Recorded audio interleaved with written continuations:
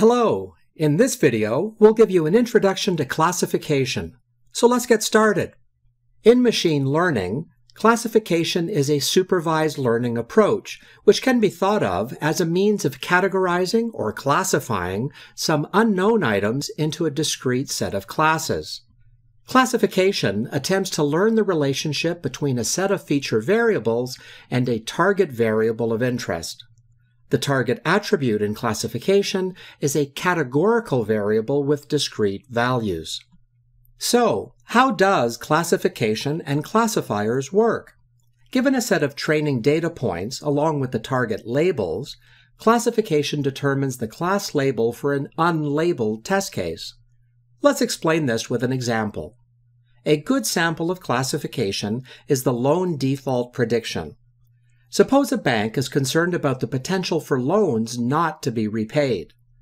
If previous loan default data can be used to predict which customers are likely to have problems repaying loans, these bad risk customers can either have their loan application declined or offered alternative products.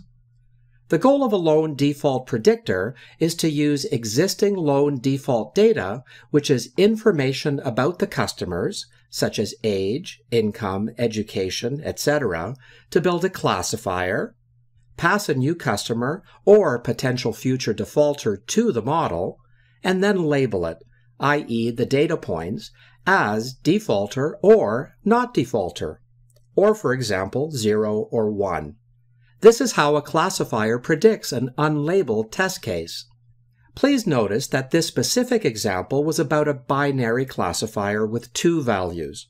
We can also build classifier models for both binary classification and multi-class classification.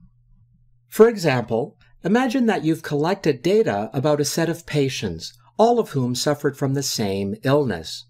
During their course of treatment, each patient responded to one of three medications. You can use this labeled data set with a classification algorithm to build a classification model. Then you can use it to find out which drug might be appropriate for a future patient with the same illness. As you can see, it is a sample of multi-class classification. Classification has different business use cases as well. For example, to predict the category to which a customer belongs.